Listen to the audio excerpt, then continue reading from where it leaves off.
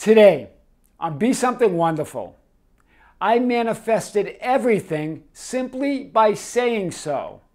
No affirming and no state akin to sleep. I am your host, Tom Kearin, and this is the Be Something Wonderful studio of higher consciousness, where we help you level up and become the best version of yourself.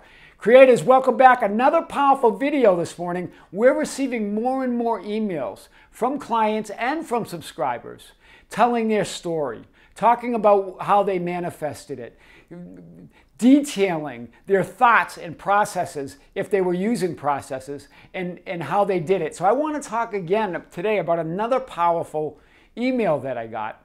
And this person is saying, you know, Tom, I waited to write you because I wanted to pull my desires into, into that 3D reality first.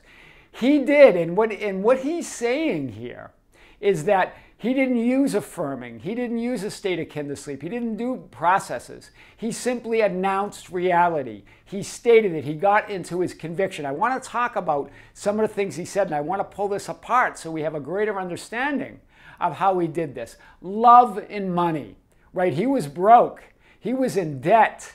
And he was dating someone for three years with no commitment, no sign that they're gonna that they're gonna be together. I want to talk about this because now they are together. They're living together. They're madly in love, and he and he's got wealth is what he said. He's got money, wealth. So I want to talk about this. Remember, processes and techniques are wonderful, but they don't create your reality. You do right? Processes and techniques are a great way to feel that, that reality within a great way to magnify the law or the Lord or your inner state. But they don't create it, you do. Your conviction, your assumption, your knowing I am that I am. What we've talked about now is the law of assumption is, is the only reality.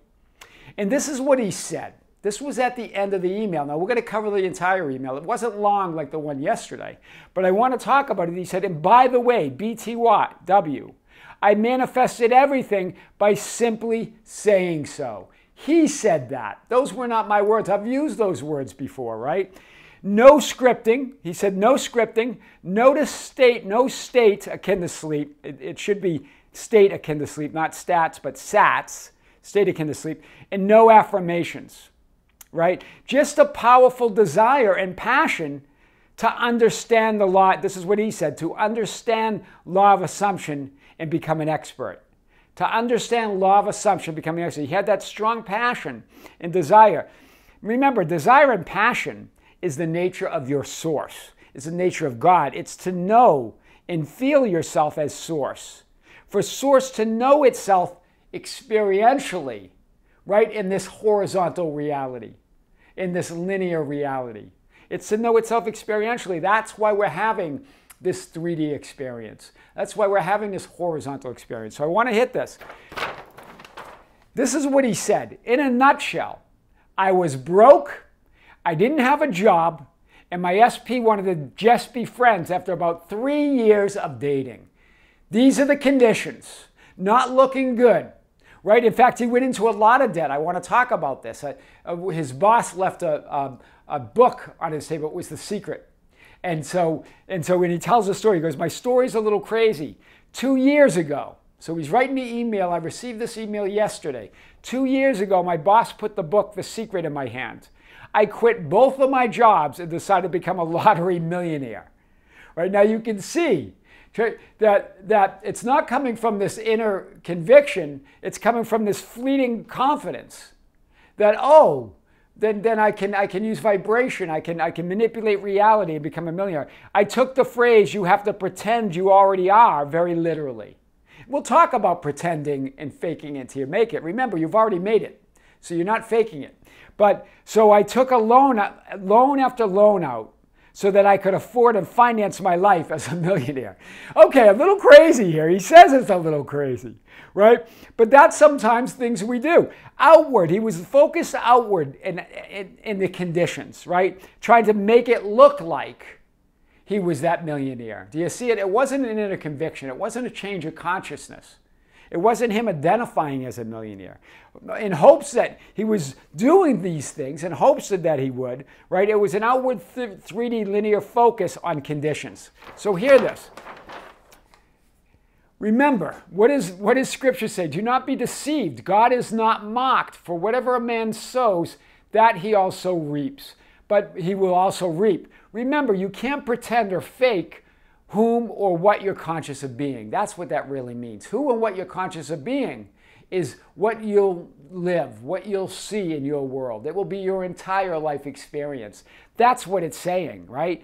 I am is not fooled. This is what Neville Goddard says. Every conception that you have of yourself that is very that is very deep conviction you have of yourself is that which you shall appear as being, right? That is very deep conviction. He goes, "Oh yeah, that's what he's saying." He goes, "That is every deep conviction." So I'm not fool I am, your I am, who you truly are, is not fooled. Every conception that you have of yourself, that is, he's saying that is, every deep conviction that you have of yourself, you, you have of yourself is that which you shall uh, appear as being. God is not mocked. So, so every deep conviction, he's not fooled. That I am is not fooled. Every conception that you have of yourself, that is every deep conviction you have yourself, is that which you shall appear, is that which you shall appear as being. You will appear as that. So Neville's clear here. And then uh, in A Course in Miracles, it says, God is not mocked, is not a warning, but a reassurance. God would be mocked if any of his creations lacked holiness. In other words, wholeness, that wholeness, that, that, that completion, that fulfillment that my client, that, that subscriber was pointing to yesterday. His, if any of his creations lacked holiness, the creation is whole, and the mark of wholeness is holiness. Miracles are affirmations of sonship, which is not a state of which is which is a state of completion and abundance. You're already there. You're already whole. God would be mocked if you lacked anything. God would be mocked if you couldn't be, do, or have anything your heart desires, if fulfillment wasn't already within you, that if everything you desired wasn't already yours, then God would be mocked. It's reassurance that God is not mocked, that you are the Son of God, that you were made in God's image, that that conviction, that I am within you, is already complete. Right? So you were made in God's image, and God makes no mistakes. God doesn't you, when you say you can't manifest something, you can't have the life of your dreams, you're, you're, assume, you're, you're implying that God's imperfect, that God can make mistakes. God made you in His image. You were made in, in, God's image, in that image of all that is, in that image of that divinity, that power, that source. And source makes no mistakes. You were made, so you have all power, not some power going through you, you have all power going through you. Wherever God is at all, the whole of God must be. Wherever God is, and God can't be divided, that unity can't be divided and split up and, in, in this illusion of lack created. It's impossible. All power, all knowing, all time is you, omnipresent. Any only unity and fulfillment exists, period. That's what omnipresence means. This client got it. So, that, so I want to continue with this. He goes, I was manifesting out of fear. In other words, separation, lack, unholiness.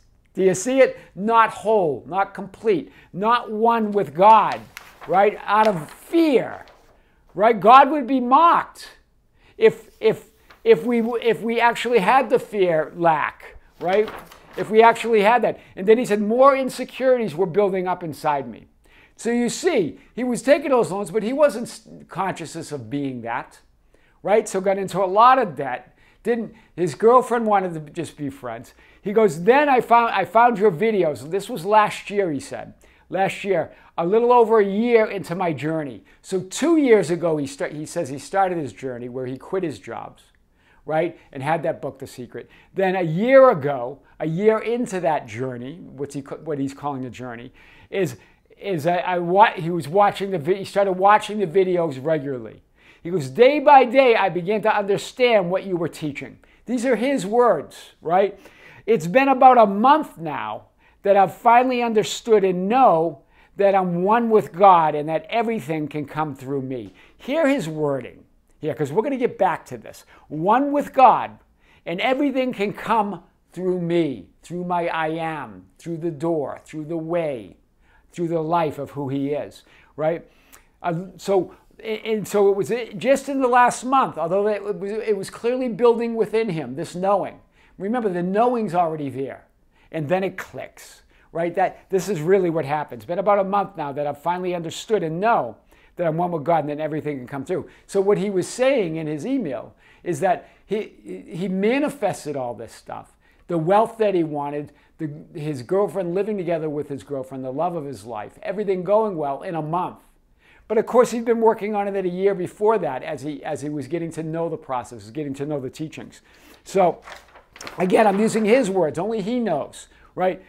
This is what Jesus said I am the way, I am the door, I am the truth, I am the life. No one comes to the Father except through me. Do you see it? His wording here is powerful. I am one with God and that everything can come through me.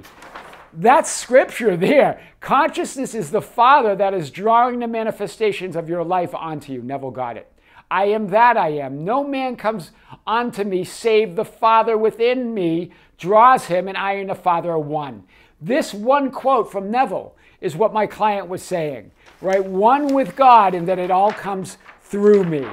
In other words, no man comes onto me, no manifestation, no wealth not, not him being in love with the, the love of his life and living together. None of that comes to me save the Father.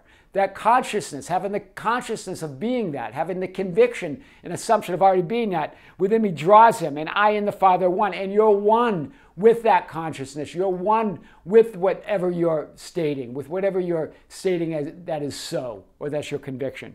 And this is what uh, Neale Donald Walsch in, in Conversations with God says no prayer and a prayer is nothing more than a, a fervent statement of what is so goes unanswered. Now, hear this. I, I, shared with you. He said, simply saying the title of this video is what his words, right? I manifested everything by simply saying so. That was his prayer his conviction, nothing. It's not that, and that Neale Donald Walsch through God says, or God through Neale Donald Walsch says it. No prayer, and a prayer is nothing more than a fervent statement of what is so, goes unanswered. You announce reality. God announces reality. God claims reality. God declares reality. God assumes it, and so it is. So it is, and it is so. So it is. Like my client, not the not client, but subscriber, said in her email yesterday. That big video we unpacked. She goes, and it is so. And he's saying he's using the same wording here as, as has been stated. Wow, this is powerful. Here, this is big because he says this here I made up my mind. This is an expression we use in 3D linear reality all the time. But what's he really saying? Right mind, righteousness, the righteousness of God, understanding that it all comes through him as him. To, to write you as soon as I pulled my desires into 3D, and today is the day. Pull, think of the wording he's using. Pulling my desires in 3D. It gives you that idea that of this vertical reality that you are. You are this vertical reality. And this and you're having this linear 3D horizontal experience where you pull your desires from the Father, from the kingdom, into your reality, into that horizontal experience. I love his wording. It's perfect for what we've all been talking about. The 3D, remember, this is the 3D linear horizontal experience. And there are many possibilities. All possibilities exist. Look at all the horizontal experiences you can have. This is your current experience. So he might he was on one of these other lifelines, one of these other horizontal uh, realities, one of these other film rolls. As he pulled, as he made up his mind and he pulled his desires into 3D, from that vertical. Remember, all desires are of God. All desires are already within you. That's why you're going to pull them from that vertical reality, from that greater Father within you. Wow. But seek first his kingdom and his righteousness, and all these things will be added to you. All of it was added the wealth, the girl, the apartment, the happiness, the, the, the, the, joy, right? The completion, the unity. No one else can come to me unless the Father who sent me draws him. I will raise him up the last day. This is in John 6:44. I want to read this because this is what my client is saying here. No one can come to me, here I am, unless the Father, that greater consciousness, the kingdom, that vertical, right, who sent me draws him, and I will raise him up the last day. In other words, unless you have that state of consciousness that draws those things, that pulls those desires into your 3D reality, right? And what does the last day mean here in John 6:44? It means the last degree of understanding. I will, I will raise him up on the last day. I will resurrect in the, I will resurrect and resurrect or rise in consciousness, resurrect that new reality, resurrect my desires into 3D reality. I will resurrect and occupy that new state, that new reality, right? Resurrect that new identity, that new version of myself, right? I will resurrect and become that. But at, at, on that last day, on that last degree, when it clicks, when I get it, what he said, right? I, what, I think he said it here. Where did he say it? Um, somewhere here. I just want to say this. Yeah. And he goes, day by day, he goes, it's been about a month now that I've finally understood and know I am one with God and everything came, can come through me. In other words, on that, I will raise him up on the last day to that last degree of understanding, right? As it clicks. Wow, that's powerful. Look at that, guys, today. That is Powerful. So I love this. And then he says, Today is the day. When he wrote me, today, I love it, the last day. I, the last day, he reached the final degree of understanding. I love it right? I've finally understood and know, I finally understood and know that I am one with God and that everything can come through me. Today is the day, the last day. I will read, I will in, in John 6:44, I will raise him up at the, la- at the last day. On the last day, no one can come to me unless the Father who sent me draws him, unless I draw those desires into my uh, vertical, into my horizontal experience from the vertical nature of my true nature, from my I am. Wow!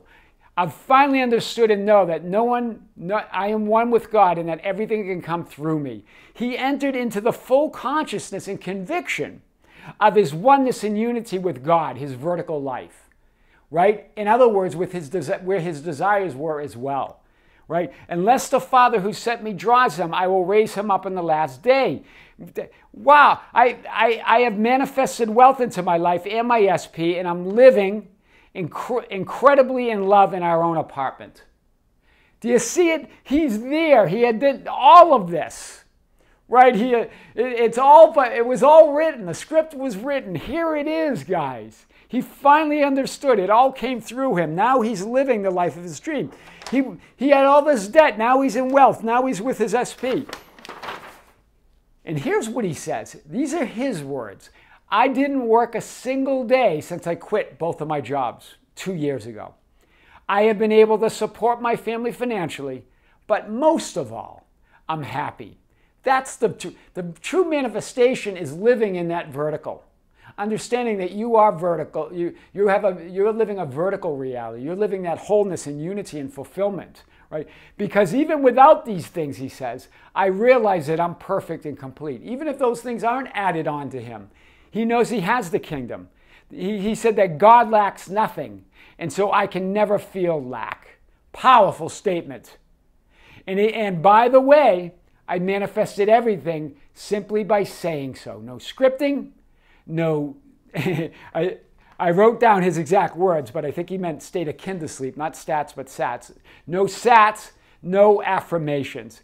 I manifested everything simply by saying so simply by occupying that consciousness, simply by standing in that assumption, in that conviction. No state akin to sleep, no affirming, no scripting. I am your host, Tom Kearin, and this is the Be Something Wonderful studio of higher consciousness, where we help you level up and become the best version of yourself. Creators, thank you. Thank you for being with me. Thank you for liking, sharing, and commenting on the videos. Thank you for joining our Facebook group uh, the Be Something Wonderful ambassadors at facebook.com slash groups slash Be Something Wonderful. Thank you for visiting us on Instagram and Twitter at Tom Kearin. Thank you for joining our membership channel that has additional content and live streams and a live stream this weekend, Sunday, May 21st, 2023, live with me here in the studios of Be Something Wonderful, in, coming to you live from Las Vegas, Nevada with our with our live stream. I'm going to be answering some of your questions that you have sent to info at besomethingwonderful.com. So if you still have questions, send them to info at besomethingwonderful.com. If I don't get to them in the, in the live stream, we certainly will get to them in videos and other content on the channel, on both channels. With great love, with great light, and infinite gratitude, creators and members, this is Tom with Be Something Wonderful. We'll see you soon.